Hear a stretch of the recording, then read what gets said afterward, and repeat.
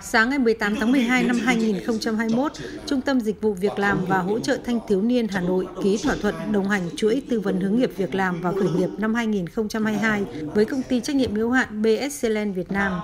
Theo đó, chuỗi chương trình tư vấn hướng nghiệp, việc làm và khởi nghiệp dự kiến sẽ triển khai tới 150 trường, tư vấn cho khoảng 60.000 học sinh, sinh viên trên cả nước. Ngoài việc được tham gia các buổi tư vấn, các em sẽ được tiếp cận bộ công cụ hướng nghiệp với tên gọi bản đồ hướng nghiệp để các em có những phân tích đánh giá đầy đủ và toàn diện hơn về định hướng nghề nghiệp của bản thân. Bên cạnh đó, Trung tâm Dịch vụ Việc làm và Hỗ trợ Thanh thiếu niên Hà Nội ký biên bản ghi nhớ với công ty cổ phần 4SV Việt Nam, hình thành nền tảng chân dung số cho các bạn học sinh, sinh viên Việt Nam.